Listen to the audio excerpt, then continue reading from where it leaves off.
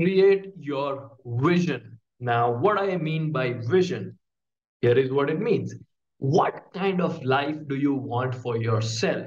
Now, this is going to be very similar in certain ways with five whys and slightly different than five whys. So when you did five whys, there could be a negative motivation or a fear or you know pain related thing that okay, I don't want diabetes, I don't want blood pressure, or I want to get rid of medication. I don't want pain in my uh, back, on my knees, any of these. So these are certain things that could be a motivational factor for you to you know make this change Whereas what we are doing right now and what we are going to do for you is more positive thing. So five whys is more reasoning, still a lot more logic behind it and could be negative.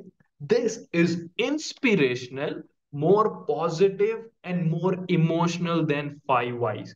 Okay. So what I want you to do is think about it. When you achieve your goal, what would you be doing? Who will be with you?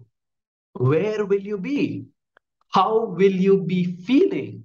Right? Very, very important. And you might be thinking that why are we doing these kind of exercises while we are here to lose weight? But here is the thing.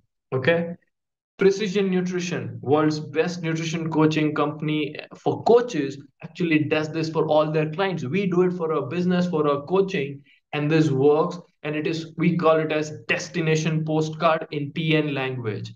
Now, PN is not the only one. National Board of Health and Wellness Coaches America, the most prestigious health and wellness certification company and the you know standardization company also suggests that this needs to be included in health and wellness coaching. In, in, in fact it's almost mandatory for everybody to do it. I have not given the exam. I'm not certified but i've learned exactly what nbhw needs.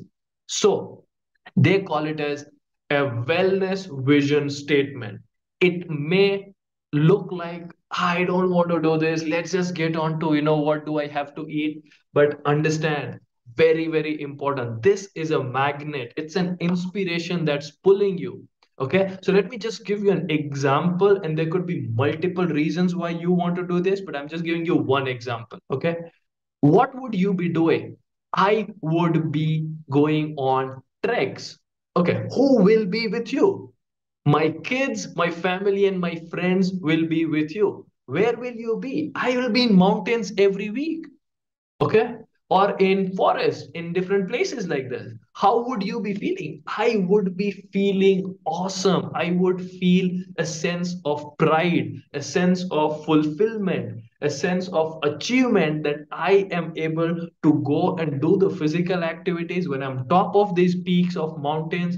I'm looking at the world from top down. That actually gives me a lot of energy. My kids are with me. They see me doing these things. I inspire them and they also start making this a habit and live a healthy life. Now, this could be your vision statement, right? And it could be something else anything that you feel is inspiring for you. You could be playing a sport, you could be going for hiking, you could be going for Chardham Yatra, whatever you want. You want to run marathon, triathlon, whatever that you like, right? It could be anything that would help you achieve your goal. So make sure that you create your vision statement before you move on and do anything else. So today, make sure you're calculated your goal, you have your whys, your motivation, and you also tap into the inspiration. So we want to make sure that you have all the support, everything that's needed